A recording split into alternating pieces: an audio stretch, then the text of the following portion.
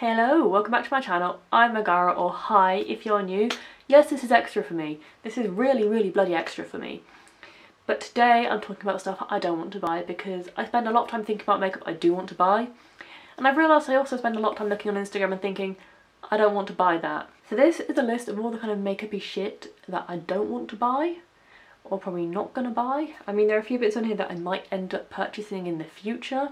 But it's really bloody unlikely because Makeup be expensive and I be on minimum wage. Do the maths, it just doesn't add up. So first of all is a Makeup Revolution Friends collection.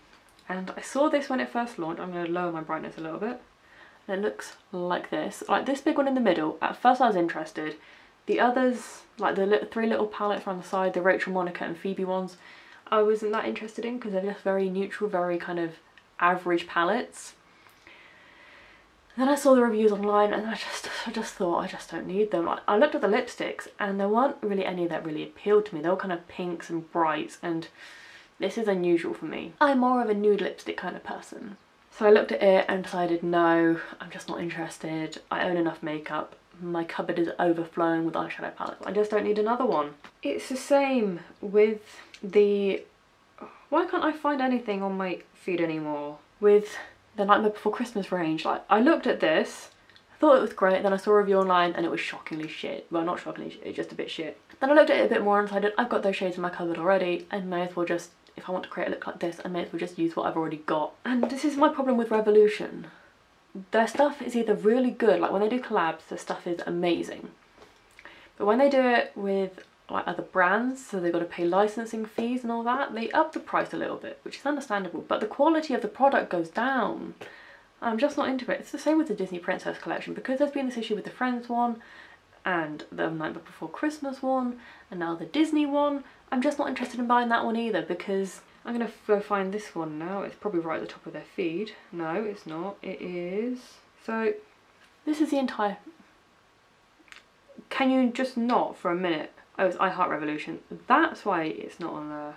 I just don't find these overly appealing. Like, I can understand why you would. Like, the Cinderella one is a lot of blues and a lot of purples and that kind of thing. And generally that'd be right up my alley, but at the same time, what are the quality of their shadows going to be like? Is there a reason why nobody's posted a review on them that I've seen yet? And that kind of thing. And that's what kind of I'm kind of frustrating with this because it could be really good and I was so excited when I saw that they were doing a Disney collection. Then I was just underwhelmed because also there I can't see a divide in between like the eyeshadows and the blushes and highlights. So would they really work? Would I end up with blue all over my pink stuff? What would the deal be? So I'm, I'm just a bit over the whole revolution thing at the moment. I may swing back around to it eventually but for the moment I'm just I'm kind of a bit done with them because they just seem to have launch after launch after launch after launch and nobody has that much money reasonably like people who have it all either are saving up and know that they're just going to buy this stuff or have it on PR or doing it for reviewing it on YouTube and I just I don't have the money for that. Next up is Unicorn Cosmetics Wicked palette. And again, this is kind of one of those palettes that I'm just not that inspired by. It's got very, a lot of very like light colours, a lot of very dark colours, and it doesn't really seem to have any kind of neutrally transition colours. Like the Nikkie Tutorials palette is big, it's got big pans, it's got very useful shades, and I just don't see that in that palette. And I think it's a good idea to have that, but at the same time, I'm just not that into it. Like Unicorn Cosmetics, I love their lashes, but I'm just not that into the rest of their stuff. I've never tried their brushes. So it's just, I'm a bit underwhelmed with that palette. It's just a bit kind of out there and not in the kind of way that I like my palettes to be out there. The Huda Naughty palette is another one, and this is mainly because Huda is bloody expensive. The palette is $76, so more than £50 for, for this. And it's kind of a lot of blushy, nudie shades the colours do look kind of cool but I've never been that inspired to buy a Huda palette. It's kind of a thing of I could buy it but have I already got shades which are similar? I just can't justify £76, 70 odd $67 on a palette or 50 or quid, whatever it's going to be, on an eyeshadow palette. I'm just not that into it. Slight on a different slight tangent, I'm just not buying lip glosses at the moment. I'm not even wearing lip glosses at the moment because we're in a bloody pandemic. Like I wear my mask most of the day at work at the moment and my lipstick barely survives. I mean, I don't even know where my face mask is at the moment, but the inside of it is tinged with foundation and matte lipstick. So what is it going to be like with lip gloss in there too? I just feel like producing lip glosses at the moment is kind of missing the mark completely at what audience you're aiming at because if you're wearing lip gloss you're probably not going to be going anywhere important and if you're wearing lip gloss and a mask what are you experiencing inside that mask because that cannot be comfortable. I like lip glosses I'm just not buying them at the moment because they're going to expire before we're out of this pandemic at this rate. The Foreo skin stuff. I, I get the idea of the exfoliators but Beauty Bay have now come out with their own which is like 30 quid which is half the price if not a quarter of the price of the Foreo ones those um, mouth things where you just kind of rub it in. I'm just not into that kind of thing. Like skincare can get a bit extra sometimes, but at the same time, should I really be paying like some, that much money for a tool when you can get them at like 10 quid down Aldi or whatever, or 30 quid off Beauty Bay, so I get that they're good, I'm just not into them because they are so expensive. Like, that is more than a day's wages for me. Makeup advent calendars. I bought them the last few years and most of the stuff ends up in boxes that go to my family.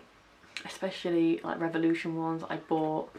What one did I have last? I had um, the ASOS one last year I still haven't got through half the stuff in that. Haven't even touched a half of it. And now that I'm trying to, I'm saving up for a wedding and my car is good but it's old so I don't know what's going to go wrong with it. It's in very good condition but We've just had to replace the tyres and the brake fluid. I'm still saving up for a wedding and moving next year so I just I can't justify the expense of buying an advent calendar for stuff that I'm probably not going to want in four months. And it's just a bit of a novelty and I've got shampoo that I got on my advent calendar last year that I haven't touched so. The Too Faced Christmas collection.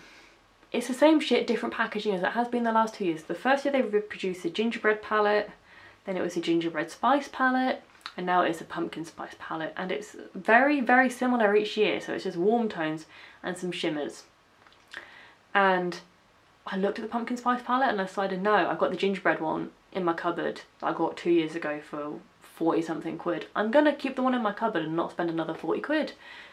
Like if you're after a warm tone palette go for it and if you've got the money to spend go for it. But you can get so many other warm tone palettes with similar specs is that the right word for it? Specs? Similar quality stuff for a lot cheaper and aren't limited edition because for me limited edition is a bit of an issue because that means can I keep using it on my Instagram and saying I'm using this and people getting interested in it and then discovering it's not continued. And I know I'm very small but I have this mindset of I don't want to push stuff that you can't get anymore because, well, what's the point? The fact that my lips are uneven is really bothering me at the moment. Um, neutral eyeshadow palettes. I have a lot of neutral shades. I am more interested in brights and stuff like that. Like This is the Beauty Bay Brights palette. And I have created neutral looks using these two shades and shimmer. I don't need an entire palette to do it again, especially like the Jeffree Star Orgy palette because it's expensive for one and it's just neutrals and it's got a dodgy name as well so but I just don't, if I'm going to buy a neutral palette for travelling, I'm just going to buy one that is cheap, not an expensive one because you can't really go that far wrong with the neutrals. Not that I found anyway. Um, Soap and Glory in general.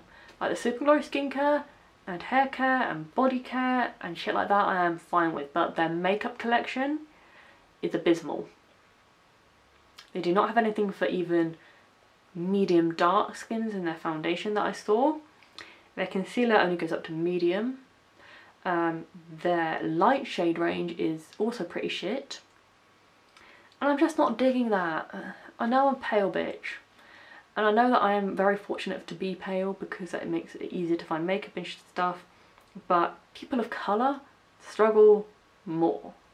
And I don't want to be part of the problem, I want to be part of the solution. I like helping people and if I can do it by supporting a brand that has a decent shade range, I will do that. Um, Jeffree Star Blood Money, it's green, I'm not into greens. The Orgy palette I've already covered, I'm not into neutrals. And the Velvet Lip Trap collection, those collections I'm just not interested in. I, I'm not interested in the greens, Jeffree Star himself is controversial. Like, I was interested in it before, like um, the Blood Money, the purple one not blood money, royal blood, the purple one, the hexagonal one. I was interested in it, saw the price, couldn't justify it, and we go from there. And because he's just been so controversial, controversial recently, I just I'm just not interested anymore. The lipsticks I've got, I'm using up, and I probably won't be repurchasing anything of his ever again because I'm just not into that shit if you're going to be that controversial you can get out of my makeup collection. And I'm also not binning it because I spent my good hard-earned money on it. Um, the P. Louise bases. This has nothing to do with the company in general, this is to do with the fact that it costs, if I buy one it's like three ninety shipping, two three ninety nine shipping. I've got to spend 50 quid to get free shipping and that is where my issue is. Um, that is more a me problem than a other people problem. It's the fact I don't like paying for shipping and I'm not going to pay 50 quid for something I don't really know about. If they come onto like Beauty Bay or Look Fantastic, that kind of website or available in Boots, I will be purchasing. Uh, Florence by Mills. I've looked at her stuff. I'm going to be doing a review on her skin tint and I haven't liked it. The, each time I've worn it I just haven't liked it. It's kind of sit on my skin weirdly when it's been powdered down so yeah and the collection isn't that good. It's it's expensive and it's aimed at people who haven't aimed at teenagers and they haven't particularly got that much money unless they're very lucky and yeah. It's just something I'm just not interested in. The Urban Decay Stoned collection, it looks alright but it's just not up my alley, that it's expensive. It's probably alright but I've never found Urban Decay shimmers to be as amazing as say oh, Too Faced shimmers or the ones in Beauty Bay's palettes. They're just not as good. And that palette just being shimmers mainly. It's got like two or three mattes. I'm just not interested in it. Um, the new NARS foundation, that matte one that's been hyped up on Instagram everywhere. I'm not buying it and I'm not going to be testing it for Foundation Friday because it looks completely wrong for my skin type. Like, and I've tested a lot of matte foundations recently, but I'm just not into that. It just, it looks good, but for somebody who has got very dry skin in the winter, it's just not me. It's, it's just a thing that I'm just not interested in and I don't want to just waste my money. I, I do love the NARS foundation I've got, but it's not one that I'm going to be going out my way to buy in the future. And the Sample View Beauty Equalizer Volume 2 palette. I'm going to go find this on Beauty Bay a second. So this palette looks a lot like a the hashtag palette by Violet Voss. And that's the only reason I'm not going to purchase it is because I do like the look of the um, Equalizer palette, uh, Sample Beauty's palette, but it looks too similar to something I already own and that's kind of it. So I'm hoping you like this video, give it a big thumbs up if you have, subscribe if you haven't subscribed. I know I have a weird thumb, it is double jointed, it can bend back like this, but I can also do it on this one though. Yeah. Um, if you've got any questions or anything you think I should try or have a look at, see if I would buy it or not, let me know down in the comments. And I'll see you next time for another lovely video. Bye!